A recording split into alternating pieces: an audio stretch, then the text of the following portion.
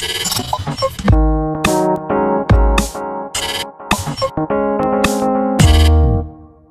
morning, Hank. It's Thursday. Hank, I can't talk to you with both my mouth and my hair, so I'm gonna talk to you with my hair. Hank, as you can no doubt see, the puff continues to grow. Hank, I'd like to thank the Yeti for her enduring support of my hair, although I have to tell you, I think I'm beginning to lose the will. Enjoy the puff now, because the next time I see you, I think it's gonna be gone. In other news, Hank, I really want to do a Question Tuesday on Tuesday, but I don't really have anything else I want to talk about today, so instead I'm going to include some outtakes from last week's Question Tuesday. Nerdfighters, in the next Question Tuesday, I'm going to try to break the world record for most questions answered in a four minute period. But I need your help. Leave your questions in the comments, and if I don't answer them on the video, I'll try to answer them in a gigantic blog post at the Ning. And now, the outtakes.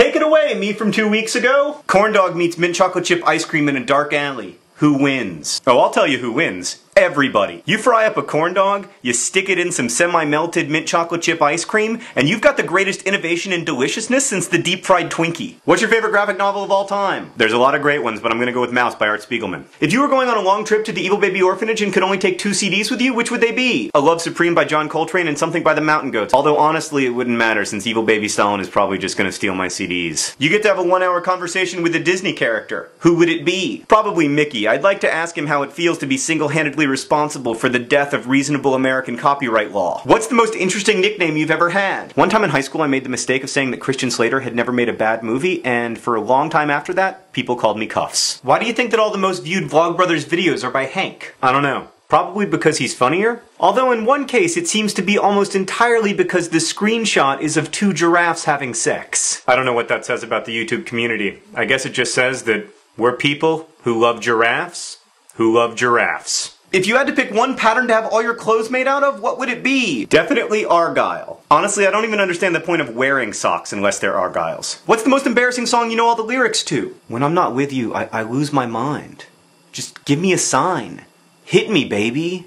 One more time. If you had to vote for a Republican presidential candidate, who would it be? Definitely Abraham Lincoln. Oh, wait, do you mean like a living Republican presidential candidate? Well, first off, I don't vote for the party, I vote for the individual. And second off, I don't want to vote for any of those guys. Why won't you let Maureen Johnson, who has read your new book Paper Towns, talk about Paper Towns? The same reason I won't let Hank talk about Paper Towns. It's secret. A plane crashed and every single person on board was killed, but there were still survivors. How is that possible? Every single person on board was killed, but many married people survived. Just one of the many benefits. Oh, hey, Riddle, I've got one for you. What's the only word in the English language that starts with PW? The Iliad or the Odyssey? The Odyssey. Has Helen Hunt seen the Helen Hunt song yet? No, keep fighting. How old is the Yeti? 28. Will we ever get to see the Yeti? I don't know, maybe, if you have a lot of money and can afford to go on long expeditions to Nepal. Which one of the presidential candidates would you most want to play Twister with? Hmm, that's tough. I guess Mike Huckabee, because, you know, he doesn't look very flexible, and so I think I'd have an advantage. I would want to play Twister with Ron Paul, but the problem with that is that Ron Paul's version of Twister only has yellow dots because Ron Paul felt that it would offer more freedom of choice and also be less expensive if the game eliminated the red dots, the blue dots, and the green dots, and also the spinner. And now, Hank, I will be attacked by Ron Paul's minions. Don't hate me, guys. It was just a Twister joke. Nerdfighters, as always, thanks for your questions.